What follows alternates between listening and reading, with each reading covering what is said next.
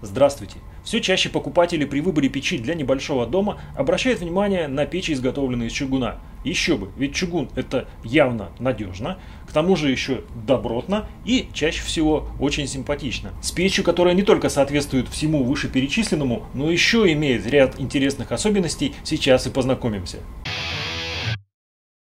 Знакомьтесь, отопительно-варочная печь-камин «Бахта», чугунная печь-камин, которая наделала очень много шума в печном сообществе. Это одна из немногих чугунных печей, которые производятся в России, имеет цельнолитой корпус и при этом выглядит очень интересно и имеет адекватную цену. Выпускает ее воронежский завод «Прометалл». Этот завод специализируется на выпуске изделий из качественного чугуна. Предприятие молодое, но оно уже имеет в своем ассортименте интересную линейку банных печей, изготовленных из чугуна. Им мы посвятим отдельный выпуск. А вот что же такого необычного в печи Бахта, мы сейчас и выясним. Кстати, именно Бахта с ударением на последний слог.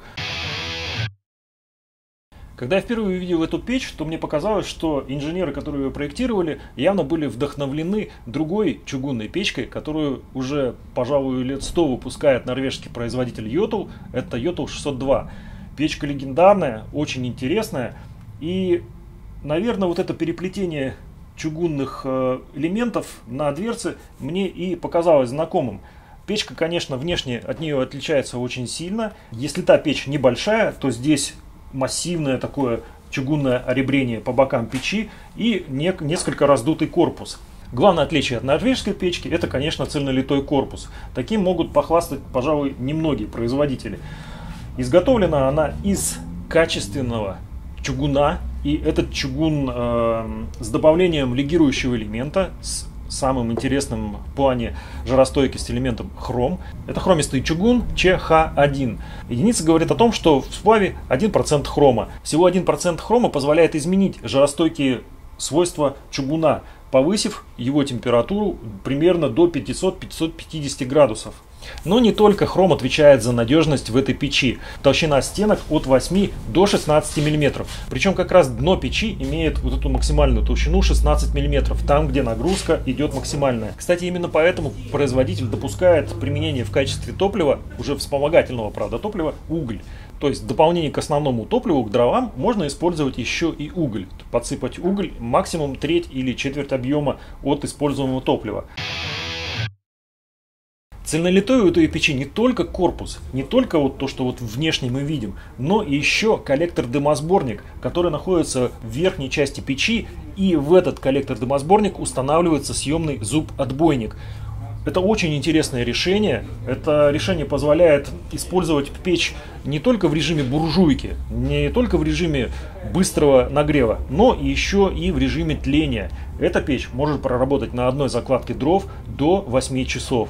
Конечно, для этого нужно использовать качественное сухое топливо и научиться пользоваться вот этими регулировочными створками, которые позволяют э, как раз отрегулировать процесс горения, даже не горения, а тления, таким образом, чтобы уходящие дымовые газы дожигались в верхней части и постепенно отдавали тепло стенкам топки а затем уже эти стенки будут отдавать тепло в комнату, в которой установлена печка. Раз уже заговорили о помещении, то площадь, которая обогревает эта печь, может достигать 120 квадратных метров. Это очень хороший показатель для такой небольшой печи. Небольшая, но очень мощная. 12 киловатт она дает при работе на дровах и 18 киловатт может отдавать при работе на угле. Конечно, использование в качестве основного топлива угля имеет определенные особенности. Естественно, по сути, сколько вы загрузили угля, почти столько вы получите и золы шлака. Ящик зольника здесь не очень большой, он скорее рассчитан на работу печи на дровах, на основном топливе, но тем не менее уголь нам разрешают использовать. Ящик зольника изготовлен из, по-моему, даже 3-миллиметровой стали, очень тяжелый и достаточно большой. Уголь горит по всей площади дна топки, но вот для подачи воздуха в этой печи используется обычный печной колосник, который занимает ну, от силы половину площади на топки. Что скорее говорит о том, что печь все же заточена Кроме основной функции нагрева помещения, печь может также работать и в режиме приготовления пищи. На верхней поверхности установлены чугунные кольца, съемные чугунные кольца, поэтому можно использовать специальную посуду для приготовления на огне. Верхняя плита будет разогреваться до температуры 200-250 градусов. Это можно утверждать смело, поэтому можно не только подогреть что-то на обед, но и приготовить полноценный ужин. На верхней части печи установлена заглушка, которая говорит о том, что выход дымохода можно перенести с тыльной части на верхнюю. Это будет особенно удобно тем, кто планирует провести дымоход внутри помещения и вывести его через крышу. Давайте вернемся к дверце. В дверце используется японское стекло.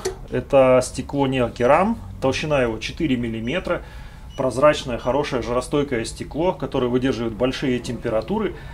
Дверца имеет оригинальный рисунок из чугунного плетения, выглядит очень красиво.